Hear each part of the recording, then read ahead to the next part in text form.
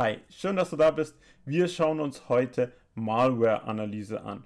Und zwar schauen wir uns genauer gesagt an die Strings einer Malware, also die Variablen, die verwendet wurden und was in diese Variablen hereingeschrieben wurde.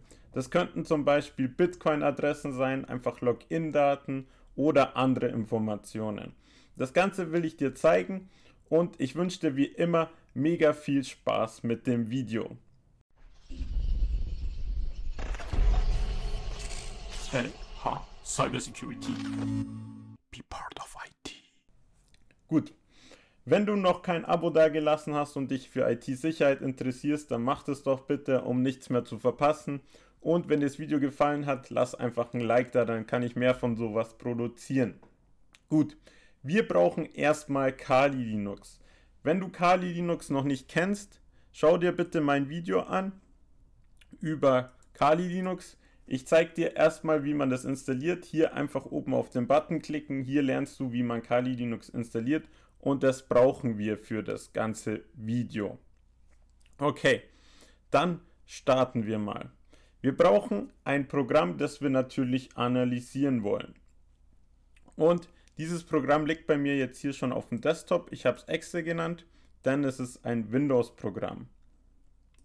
In diesem Programm, das kannst du dir auch runterladen, besser gesagt, wenn du es nachmachen willst, lad es dir runter.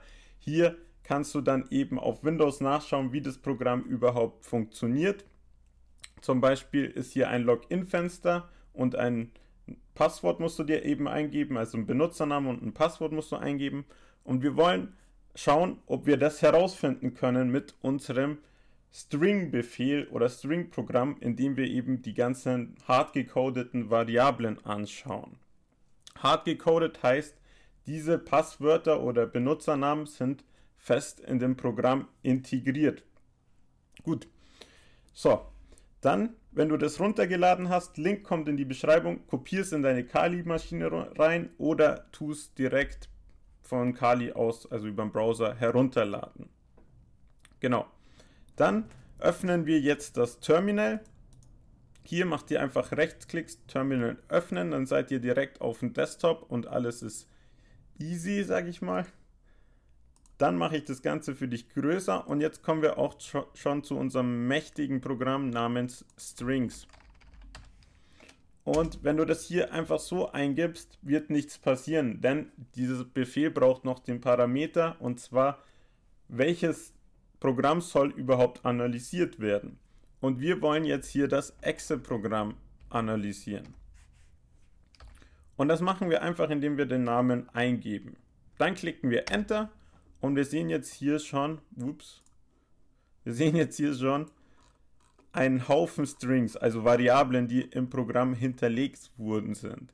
Das ist jetzt ein bisschen hier unübersichtlich, weil es eben so viele sind und ja, wir wollen das natürlich uns so leicht wie möglich machen und deswegen speichern wir das Ganze in einer Datei. Das will ich dir auch noch schnell zeigen, wie das funktioniert.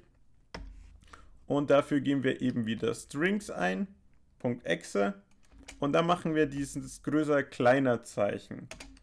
Und dieses Zeichen bewirkt eben, dass wir die Ausgabe von dem Befehl in eine Datei reinschreiben. Und wir machen das Ganze mal und schreiben das in ein ja, info.txt. txt steht für Textdatei und hier wird eben dann das Ganze in eine Textdatei geschrieben. Es dauert nicht lang, einmal draufklicken und schon ist es passiert. Jetzt können wir das hier wieder minimieren und haben jetzt hier unsere info.txt. Die ganze Datei öffnen wir jetzt und jetzt können wir hier das Ganze uns nochmal anschauen oder halt mit Steuerung F oder hier auf Find nach Sachen durchsuchen, zum Beispiel Login. Und wir sehen jetzt hier, oh, hier steht sogar Login. Hier sehen wir die Variable zum Beispiel Welcome to the Login Portal und ja, hier könnte eventuell auch schon unser Passwort irgendwo stehen. Wir müssen jetzt hier nur ein bisschen uns umschauen und dann sehen wir das eventuell das Passwort von dem Programm. Und ja, wir können jetzt hier, ich weiß jetzt schon, dass das das Passwort ist, Aber ihr könnt hier jetzt rumschauen und eben alle Sachen, die euch so vorkommen, als könnte es ein Passwort sein, eben in dieses Windows-Programm eingeben. Dafür braucht ihr Windows, testet es da einfach, startet dieses Exe-Programm hier am Desktop und testet die Variablen durch, die ihr denkt, dass ein Passwort sein könnten. Zum Beispiel RSDS, Ausrufezeichen, könnte auch ein Passwort sein. So. Ich kann dir jetzt zeigen, hier, das ist der Benutzername und das ist der Login, da ich das schon getestet habe. So, auf jeden Fall, wenn das jetzt ein echter Virus wäre, könntest du hier eventuell Bitcoin-Adressen finden oder IP-Adressen. Die sind hier auch alle verankert. Wenn der Programmierer die nicht irgendwie schlau versteckt hat, kann man das so auslesen. Also kannst somit Viren analysieren und die Variablen dir anschauen. Vorausgesetzt, der äh, Trojaner oder so ist nicht verschlüsselt. Machen nämlich auch viele Hacker, um eben sowas zu vermeiden. Aber wenn du jetzt hier einen Anfänger erwischt hast, also einen Anfängerprogrammierer, der kann, könnte solche Fehler gemacht haben und dann kannst du eben so zum Beispiel die IP von seinem Control-Server rausfinden.